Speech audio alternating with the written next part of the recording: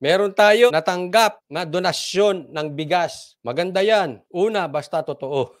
Mahirap yun kasi balita tayo ng balita eh. eh kasi minsan may mga ganyan, ang tawag ko doon, Mr. Preskon eh. Ibabalita sa media, tapos hindi naman tuto pa rin. O ito, may donasyon ng bigas, napakadami. Libong tonelada ng bigas na donasyon ng Taiwan. Ipamimigay raw ito sa mga biktima ng bagyo at lindol. Nasa frontline ng balitang yan, si Elaine Fulgencio. Dumating na sa bansa ang 1,000 metric tons ng bigas na donasyon ng Taiwan sa Pilipinas. Katumbas yan ng halos 35,000 sako ng bigas. 35,000 bigas. 35, parang tama ba ang aking pagkakadinig is parang 35, katumbas ng 35,000 na sako ng bigas. Ang daming mapapakain yan. Napakabait ng Taiwan sa atin. Kaya lang, sa isang banda, baka may kapalit yan. Ha? Ako hindi naman po nagbibintang. Okay? Pumapagitna po ako.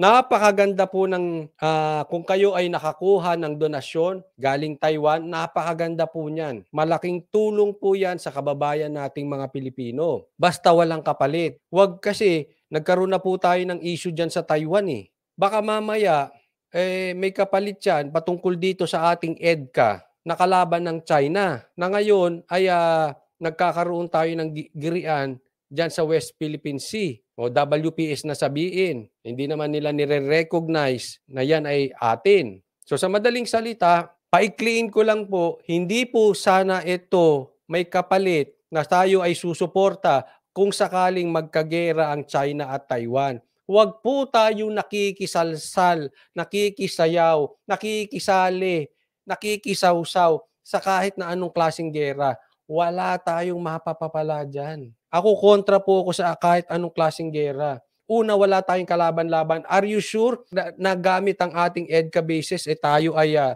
tutulungan ng Amerika? How sure are you? Hindi ko po binabasag yung donasyon. Uulitin ko, napakaganda niya nangyari. Malaking tulong yan sa mga mga kababayan natin na magkakaroon kasi ibibigay daw ito pagka nagkaroon ng calamity. Maganda po yan. Okay? Inuulit po, ha? Hindi po binabasag. Kaya lang, wag tayo. Sana ang donasyon ay hindi nang hihingi ng kapalit. Kasi pag naghingi ka ng kapalit, hindi po donasyon yun. Bayad yun. So linawin nyo yan sa, sa Taiwan, yaan ba ay donasyon or bayad? Ibig sabihin, kung maggera ang Taiwan at China, hindi tayo kasali hindi gagamitin ng EDCA natin. Wala tayong pakialam sa laban nila. Hindi naman ibig sabihin hindi tayo makatao, pero wala tayo sa posisyon makisawsaw sa gera ng, ng iba. Ayaw nang natin mapahamak yung ating mga kababayan. We should protect our own. Ang unang-una nating iintindihin, proteksyonan yung atin. Proteksyonan yung ating mga kababayan. At ang pinakamagandang proteksyon sa ating kababayan ay hindi makisali sa kahit anong klasing gera o away ng mga ibang bansa.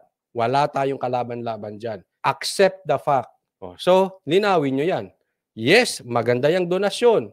Pero kung yan ay bayad, ibalik nyo po yan.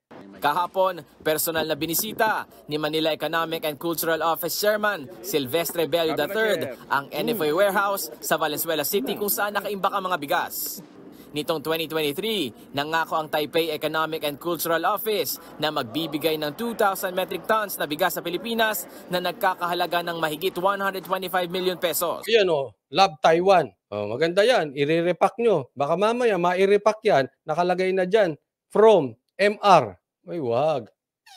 wag naman, ha? Hindi po tayo nagbibintang. Kaya lang, baka mamaya, iba na nakalagay dyan, ha? Galing Taiwan yan, ha? Hindi po galing kung sinong politiko ng Pilipinas, ha? O, wag swapang. Wag epal-epal, ha? Baka gamitin niya ng mga ibang uh, nakaposisyon sa kamera. Ha? Hindi na, wala akong binabanggit kung sino. Ha? Eh, baka lang. Sinasabi ko para wag ng, ano, uh, eh, wag niyong papalitan ng pangalan niyan usual trade and business relation with Taiwan. Alam nyo naman ng Taiwan is so prosperous that they want to share. O sabi ni Anita ko, never trust Taiwan. There is a trade-off. Just wait. They have a new president. But their legislature is the opposition. O mahirap. Kaya nga, tama po. Huwag tayo magtitiwala. Ha? Huwag basta-basta.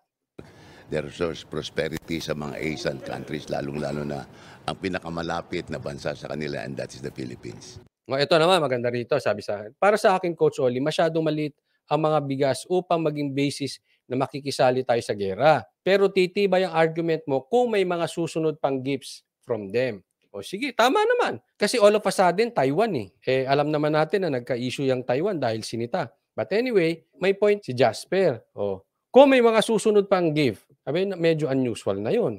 Tayo at tayo ang bini- binibigyan. Maganda na rin nag-iingat. Again, uulitin ko, for what purpose? To protect our own people. Pag nak- nakisawsaw tayo sa gera ng iba, kawawa ang mga mamamatay. Malaking tulong daw ito lalo't gagamitin ng Department of Social Welfare and Development ang donasyong bigas sa mga biktima ng kalamidad sa bansa.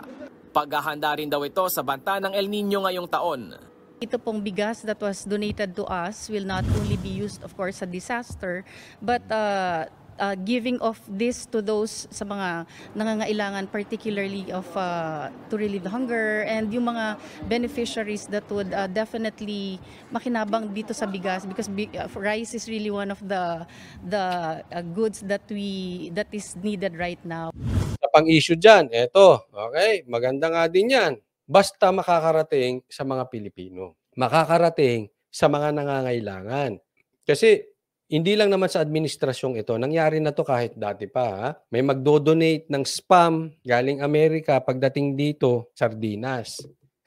Napapaltan, nababawasan. Pati donasyon na ibibigay na lang sa mga maliliit nating kababayan, kinakatkong pa, kinukomisyonan pa. Ha, hindi naman hindi lang sa administrasyong to dati pa nangyayari yan. Hanggang sa barangay. Ha, syempre may mga nakaupo diyang barangay, kukuha rin sila. Hati-hatiin kasi yan eh, supot-supot, kukuha rin sila.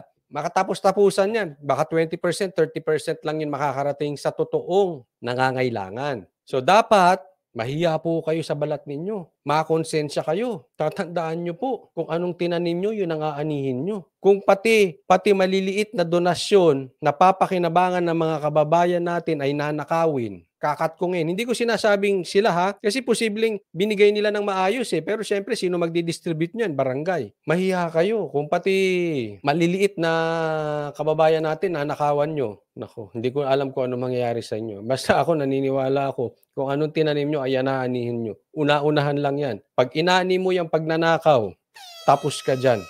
Tuloy. Irerepak daw ang bigas para isama sa family O, ito naman, sabi dito, baka isabay yung signature ng PI. O pwede, wag niyong gagawin yan. Tandaan natin, ang pagpapapirma ng PI, kung may kapalit, illegal po yan. Bakit? Bribery po yun. Suhol. Bawal sa batas yan. I encourage you, bidyuhan nyo, picturean ninyo, isend nyo dito sa akin o kung kaninong vlogger, ilalabas natin yan. Any form na may kapalit ang pirma, illegal po yan. food packs na ipinamamahagi tuwing may bagyo at lindol. Ayon sa DSWD, merong 1.4 million na relief food packs na nakahanda sa buong bansa. We cannot predict nga po ang pagdating ng mga disasters. Kapag may mga goods na po tayo on the ground, at least when it strikes at nangailangan ng augmentation, DSWD can release these goods na po. Meron pang isang libong tonelada na bigas ang inaasahang darating sa bansa mula Taiwan ngayong taon. O, kita mo, meron pa ulit sa Taiwan. Napakabait ng Taiwan sa atin, ha?